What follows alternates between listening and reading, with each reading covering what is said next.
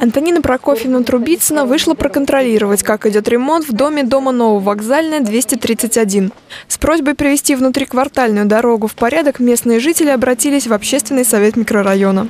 Вы знаете, приходится рынком пользоваться, магазином. И вот из дома всегда раньше ходили так. Зимой еще ничего снегом припорошить.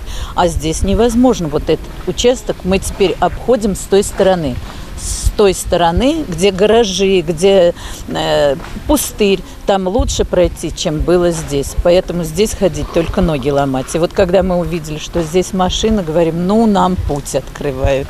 Очень хорошо, мы рады этому. Это уже не первое предложение жителей по благоустройству двора, которое находит отклик у общественного совета микрорайона и местной администрации.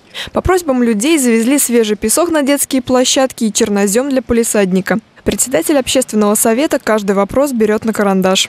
Почему я этим занялась? Ну, во-первых, потому что я сама живу в этом районе, а, хожу по этим дорогам. То есть, и, конечно, все эти проблемы меня тоже напрямую касаются. Ну и, конечно, хотелось, чтобы наш район был одним из лучших районов нашего прекрасного города. Обустроить любимый город и родной микрорайон – это поможет сделать команда созидания, которая сейчас формируется в Самаре. В нее войдут инициативные люди, не безразличные к судьбе столицы региона. Выборы в районные советы депутатов пройдут 13 сентября.